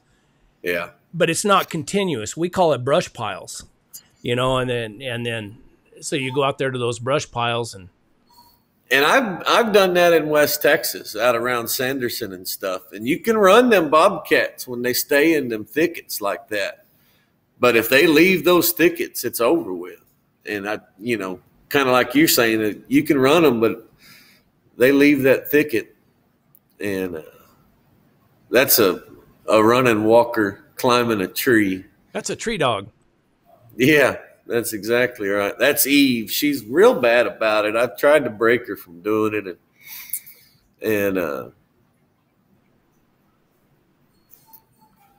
I uh, I tried to break her from doing it, and I haven't had much luck. It's pretty tough, but I'm worried she'll get hung one day. Yeah. And a lot of times, I mean, they'll you tree a lion and and those dogs get to climb that tree, and it sure cause those lions to jump a lot sooner. Yeah. Well, down here, you've seen how thick some of this brush is, and you walk a mile through thick brush, and just in time for a dog to jump that cat out of a tree, you get pretty upset about it. And uh, may have to walk another mile just to get to the next tree. So that's uh, that's one of Chuck and Tom's cats there. Then they were down from Georgia. That's Hornet in the tree. That's one of Slade's dogs. Cool stuff. Yeah, it was it was uh, it was a good hunt. But yeah, man, no, it looks. It, I enjoyed it. Thanks for having me on. You bet. Thanks for coming on. I, I, I you know, it's I enjoy talking to houndsmen from all over. So we'll start. We'll we'll start. Uh, uh, I'll start taking a little bit better record of some of the hunts, especially ones that, that our uh, KV Hounds pups are on. But KV Hounds, that's our new deal on our trade, our on our partner dogs. They're called KV Hounds. I let you know, I let Cody's name be first. So yeah, it. Uh, friend of mine's from East Texas, a coon hunter's on here named Alan Smith, and he just made a comment about telling my brother I said hello. But it uh, one of these days he's going to get a real job, and when he does, he wants to start cat hunting. So we'll have to we'll have to get get a pup for him. But there you go. He uh, now he's a he's a he's a good guy and a good friend from East Texas that does a little bit of competition coon hunt. You think really? cat hunters are crazy? You you go dip your toe in that world. It uh, you know I've been listening. Yeah, I've been listening to those guys. Uh, what was his name? Josh. I think he worked for Joy Dog Food. And I had I did a little live here. I don't know. It's been a month ago, and he got on here, and I listened to him when he was he was doing the Houndsman XP podcast, and I really enjoyed listening to him talk to some of those guys. You know, those con- they live in a different world than us. I guarantee. Yeah, no, and, that's uh, that's yeah. And I don't know a lick about it, but I, you know, they talked about so they about how those dogs go deep and how like the wild they call them wild or crazy that are wild dogs that just go out and look for a coon and might swim a river or whatever. And they talked about that one that treed the coon in the prison yard, and they never could figure out how that dog got in the prison yard, but got in the prison yard and treated coon. really? yeah, that's a good story. Yeah, that's that's them dogs are, uh, you know, a, a, different sport in its own. You know, and I was talking sure. earlier about coyote pin hunting and kind of breeding the nose out of dogs and you know to an extent there's you know there's different traits that they like in dogs that sure.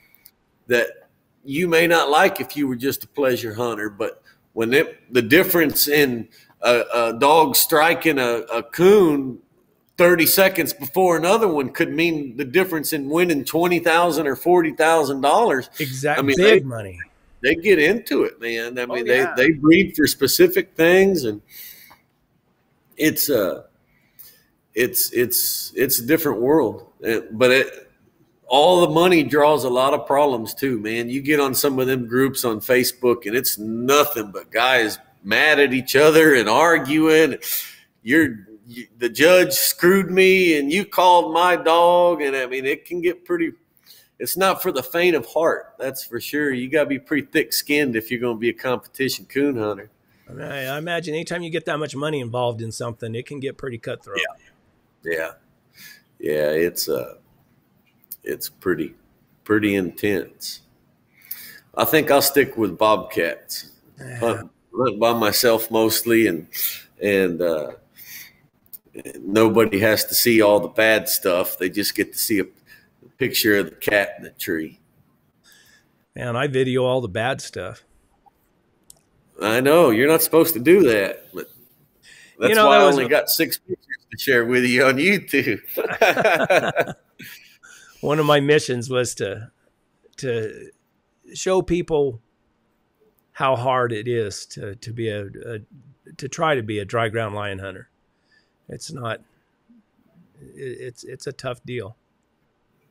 yeah, And I have- is. and you I do have- it, you do it the old way too. Yeah. I have lots of respect for the guys who, you know, the Steve Smiths and, and Mike Roots and Larry Hendricks and Johnny Clumps and all those old guys that, that, you know, they didn't have all the modern things that we have. They didn't have the cell phone cameras that, you know, everybody uses. They're just the regular cell cameras and everything. They just, man, I remember talking to Steve Smith years ago and, and, and I asked him, you know, he, I asked him about a dog, and he told me.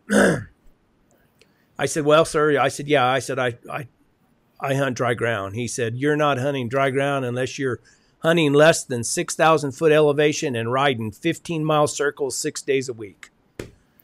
And I, Yeah. said, oh, I said, "I got two out of three. Yeah, So- six days a week. but he didn't. He kind of. And then Henry McIntyre, you know, when I asked him how he hunted lions, I said, "How do you hunt lions?" He said, "I take good dogs into good lion country and I make circles." Yeah. So That's all it takes, you know. I mean, uh, you take good dogs and spend a lot of time with them. But them guys are different, you know. Them old timey hunters like that, Norman Davidson and Henry McIntyre, and uh, uh, you know they they they them guys didn't care about nothing but hounds, you know. And I I to give credit where credit would due. I mean, if you're going to have a very good pack of cat dogs and hunt very much, you're either going to be divorced or you're going to have a really good wife. And I was blessed with a really good wife. And, uh, but you got to spend so much time off in the woods. It's hard to do anything else. You know, I mean, them guys didn't care about making big money and didn't, most of them's divorced half a dozen times and kids Yeah, they- moved off and, and, uh, you know, they gave up a lot to to to to do what they love to do. Yeah, you know, wife come in and say, if you go cat hunting tomorrow morning, I'm I'm going to be gone when you get here. You know, Right. and she said, see you later. And That's it. Yeah. And nowadays, with with you know everything's so expensive nowadays. I mean, it, it's it's tough. I you know to the guys that truly love it enough to try to make a living doing it, I tip my hat to them. Yeah. I really will. Well, that's And- one of the struggles that I'm having right now. Is, is you know I'm 60 years old and I've never been able to hunt the way I want to hunt. And you know I could hunt two. When I was in the mountains, I could hunt more, but I still had a lot of responsibility. And uh, man, I tell you what, it it I, I have a business and and uh, I I have a hard time giving up that money that I make. And Yeah. it, it, it you know you you get to a certain point in your life and you realize you only know one way to make a living. And uh, I've had a hard time giving that up. I mean, I got, I could make it, I could make it, but uh, maybe not, you know, at $5.60 a gallon diesel, I might not be able to make it, but No, that's it's tough. It's tough. Of course, them guys all sold hunts, you know, so they had income from their dogs. yeah, yeah, they, they did things to make ends meet. But I remember Yeah. seeing Henry where he lived when I first met him. That, Yeah, that house wasn't as big as this room I'm in right now. you know, and they they sailed them guys like Dale Lee and you know, hell Norman Davidson. He didn't have a house when he got old. his niece let him let him live in a, one of the trailers at her trailer park, and he uh, he was divorced and married again, and the house that he lived in was his his wife's house. It wasn't his house.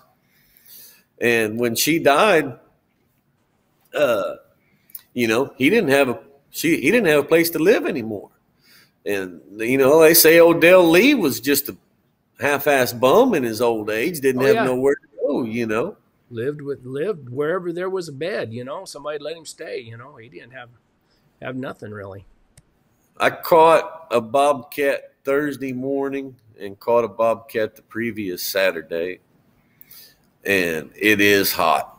It's bad hot. You got to be real careful. You get you get a dog killed, but as Norman would say, it uh, it's hot on those cats too.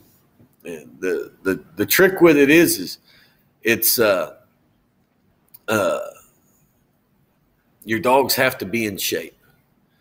And you know, you lay your dogs up and get busy and and don't take them hunting for three weeks and then take them out on a hot morning. And, you know, you can you can sure kill a dog real quick.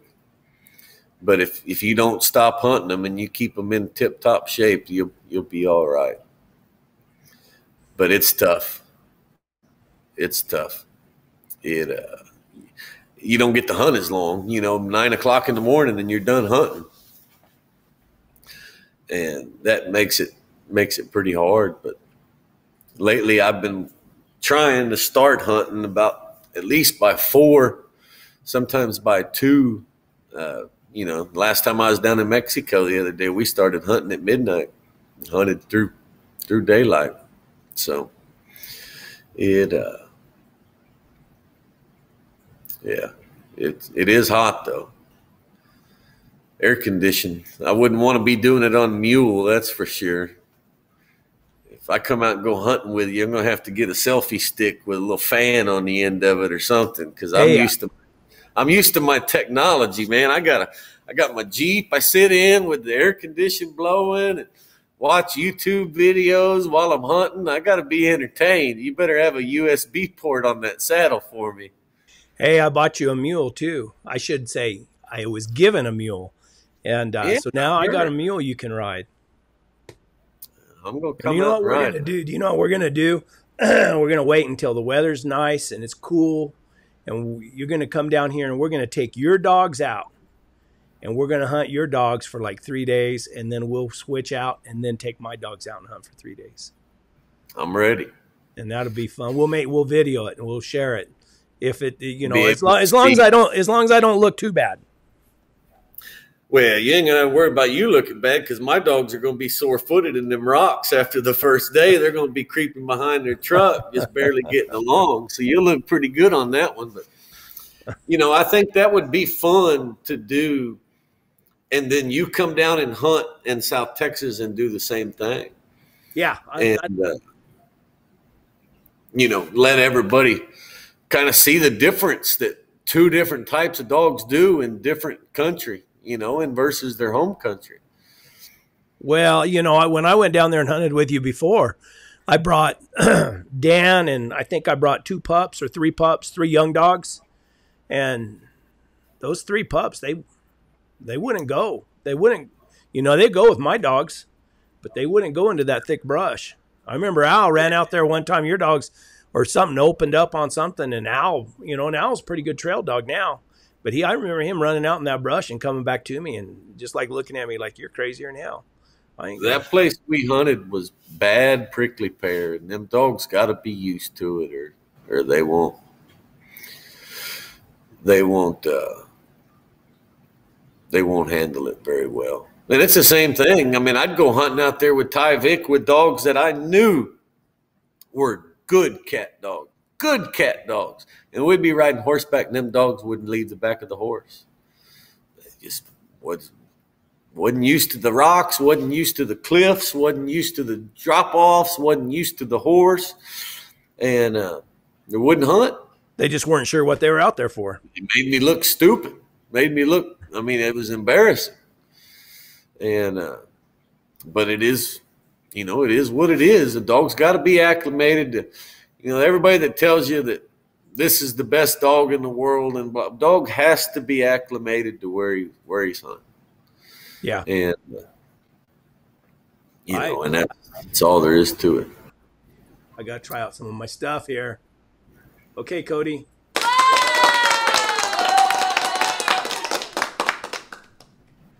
There you go. That's all. That's all I got. Chuck, and Tate, and Tom, and Alan, and at least I had some friends on here that'll make fun of me. As soon as we get off, my phone will be ringing. Tell, oh, it's, I've already been getting all kinds of messages. Somebody said you were going to sing. Yeah, yeah, that ain't going to happen. I can tell you that right now. And I'm kind of disappointed. I start uh, some of them videos. I go to yelling at old Ricochet. It might sound like I'm singing. Fossil Creek Kennels got to have some got to have some hard nosed, hardy walkers to hunt down here in Texas. Where are you from, Fossil Creek Kennels?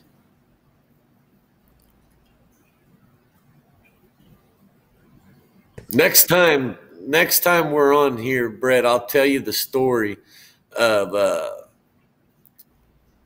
Chuck and Tom's javelina. So, oh, okay. I know, I know it's getting late we're fixing to get off. It's a pretty good story, but uh, we were we ran into a pack of javelinas, and uh, it was is pretty good. Javelinas went to charge in, and I handled I handed Tom a bullet. Said shoot. Is is pretty good. Uh, we'll leave him on a cliffhanger then. Next time Cody yeah. joins me, we'll have to tell that story. Fort Worth, Fort Worth. Uh, uh, um, Derek Edwards is from Fort Worth. He's a cat hunter. He hunts in Oklahoma. In fact, in fact, Derek, this next weekend I'm going lion hunting. I've kind of got a Brett going on. I've got a, a lion that I've trailed about ten times now. Seen him cross the road, dogs on his rear end, and and, and seen him cross the road and and never get a bark. It, it, it's it's it's been a bad experience for me in that line, but it's hanging out in one little area. Killed a colt not too long ago and a few deer, so I'm going to try and see if I can get on a little bit better trail on him this weekend. And then the following weekend, Derek Edwards from Oklahoma is going to come down and go. Oh, that is Derek. Oh, Bobcat 101's Derek, but I was asking who Fossil Creek was anyway, Derek's coming down to go hunting with me. Uh, uh, not this weekend, but next weekend. So we're gonna go. We're gonna go give it a whirl. I've got a, a dog or two that that I'm gonna give him and and uh, let him try them out and see how they do. I got a I got a very very very well bred female dog, and our litter mate is is bang up, and uh, but she's kind of kind of shy, and I took her hunting just a couple of times, and I picked her up, and she went to slinging her head when I was trying to get her out of the truck, and she hit me. I mean, head butted me. I mean, right in the face, hard. It hurt, and I, you know, kind of got a little angry, and I mean, I, I threw her down to grab my face. I thought I was bleeding, and and when I threw her down, she landed on her side, and and uh, that's been probably five months ago or four months ago. I don't know how long it's been, but she won't forget it, man. I can't. She don't. She won't. Uh, she won't forgive me. And uh, so, uh, you know, she'll come around my girls and someone else, but she she she won't forgive me. And I didn't do it on purpose. I didn't mean to hurt her, but I mean, she just she she went to slinging that head like crazy, and she hit me hard. But ever since then, she won't. I couldn't take her hunting because I couldn't catch her to put her back in the truck. And uh, so, anyways, we're gonna see if we're gonna see if Derek can uh, buddy up and make friends with her or not. She's just too good of a dog. Too she's too well bred to not do something with.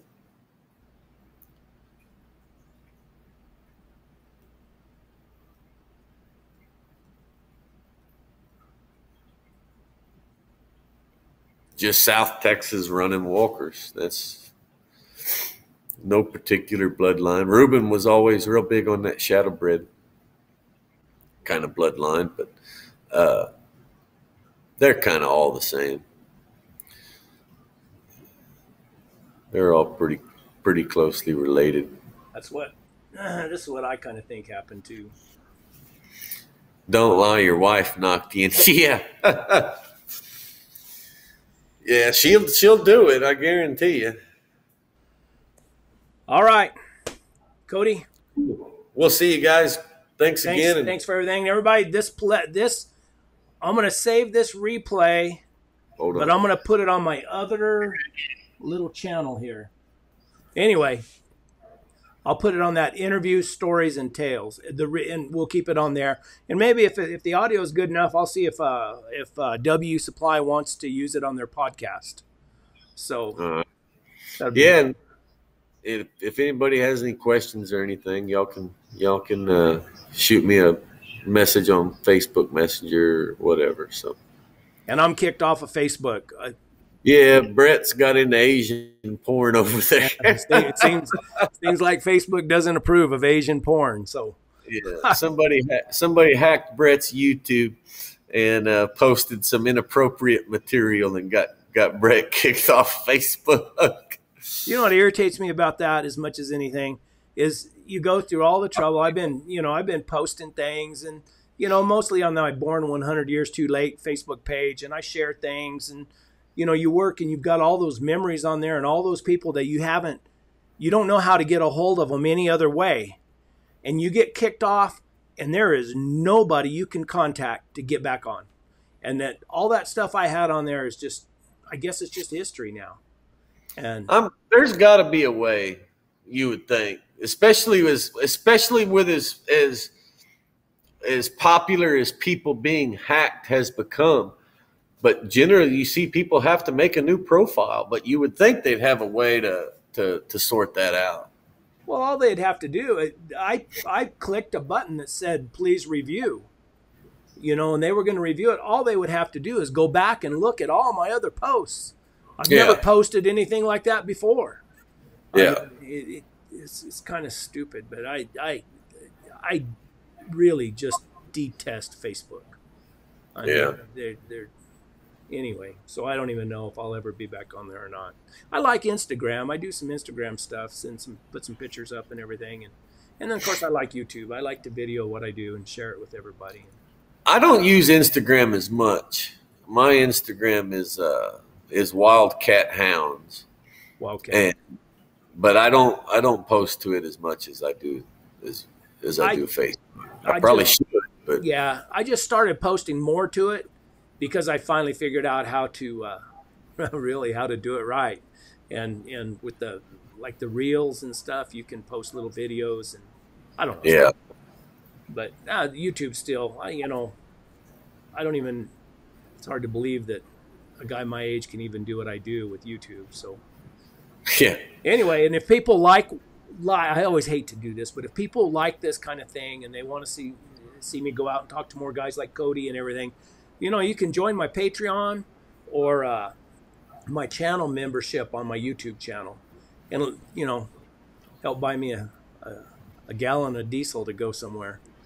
Well, I, and I can and I can tell you this too, guys, that you know it costs a lot of money to travel around and and and do these interviews, and you know I'm nobody special, but uh, a lot of these old timers, you can't get them in front of a laptop with a webcam and do this from 200 miles away, and uh, you know, and a lot of them old timers ain't gonna be around much longer, so.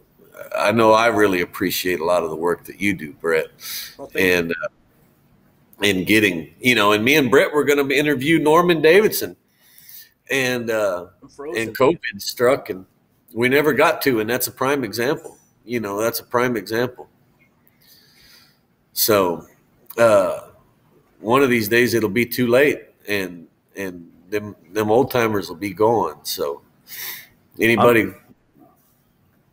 that wants to help out with with doing that stuff, it's it's money well spent. I can tell you one thing: Brett don't make no money by the time he's done the number of hours that he spends putting them interviews together. So, can you still hear me? Yeah, I can hear you. Um, my my picture's frozen on my screen. Your picture's froze, but oh, I well, thought maybe you fell asleep or something. it's past my bedtime already, so yeah. So, well, but I can do the young guys. You know, you know, I call Cody a young guy, but everybody I can. I got some other guys lined up that I can do these little deals with, and and I enjoy it. And everybody, I did a little poll on my community page on my on my YouTube, and they said Sunday night was the best. So that'll work. If everybody likes it, let us know. Send me messages. You know, whatever. You know, try to get a hold of me and let me know if you have ideas of guys that uh, that would be good to talk to. Then let me know. Give me some names and contact information, and uh, and me and Cody are going to try to do this once a month. So maybe more often than that. I mean, but we'll probably schedule one once a month so everybody knows. Yeah, we'll start getting some some footage of these pups. You know, it'll be something that I think a lot of people could benefit from. Uh, you know, seeing these running dogs and these pot lickers, tree dogs, and the crosses of crossbreeds, and and how they do. You know, it'll be a it'll be a pretty pretty entertaining experiment, anyways. Ah, there I am. There you are. But you're gone. I'm good because I'm gone anyways. All right, so. guys. Thanks for coming by. We'll see y'all. Thanks much. Thanks, Cody.